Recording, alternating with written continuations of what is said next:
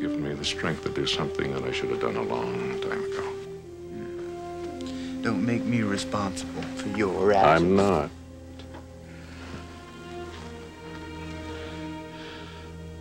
I'm holding myself responsible for your actions.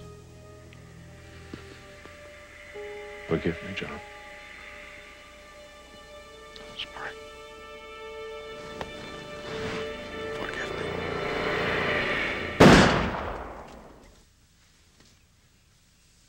You okay, Lou?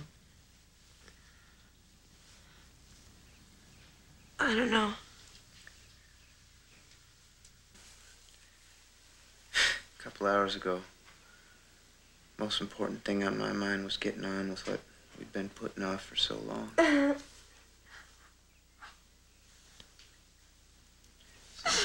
Me too. Seems like ending all that waiting was was more important to us than the reason we wanted to end it. Do you think we made a mistake? No. No.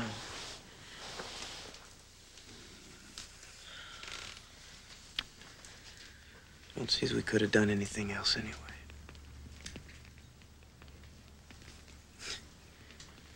Things are gonna be different between us now. Maybe better.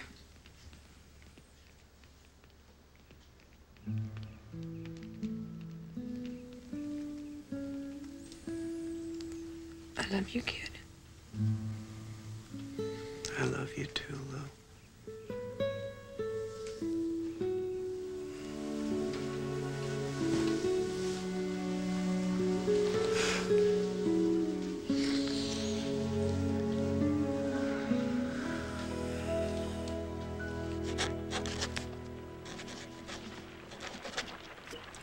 And that's um, three dollars for the room, right? You can pay when you check out.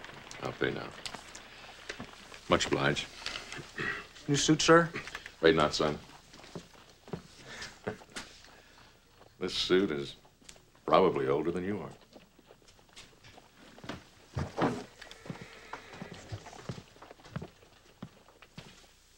Anybody know what happened? No, but I make pretty good guess. What are you saying? Indians. Same ones that been shooting at us all along.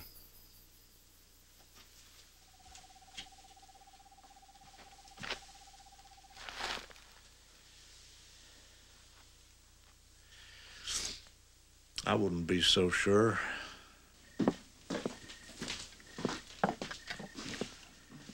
I'm sorry about your friend leaving town and all, Cody. What do you care? You don't even know his name. Yes, I do. Hezekiah Horn. I even picked up one of his books. He's quite a fellow. Maybe you could read one of his books out loud to us, Cody.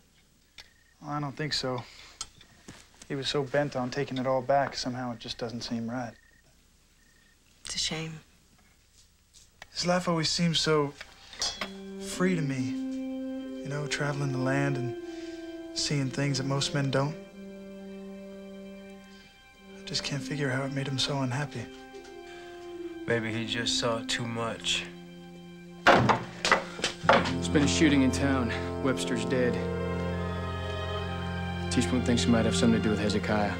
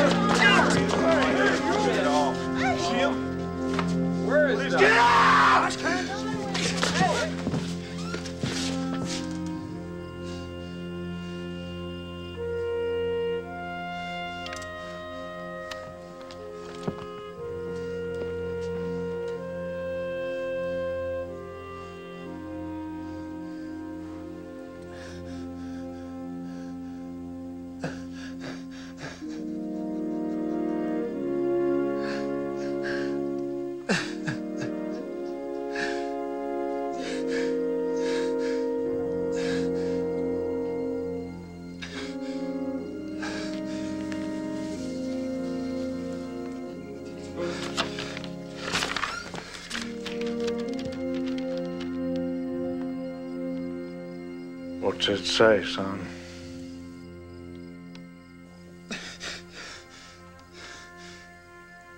Cody.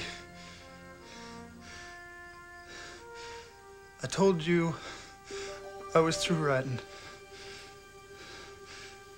But this needs to be said. I talked about progress bringing men who acted like there was no tomorrow. Men who just kept moving forward without ever attending to what they left behind. I, I realized realize that that killing killing myself- myself is not the answer. But I couldn't live with it anymore. I couldn't die without settling my own account. John Webster was a child of circumstance who had the misfortune of being born to the wrong people at the wrong time. His pain and suffering became the scourge and horror of the Indian nation and my personal responsibility. I took his life because I didn't know what else to do. John Webster was not only my responsibility and my demon, he was also my son.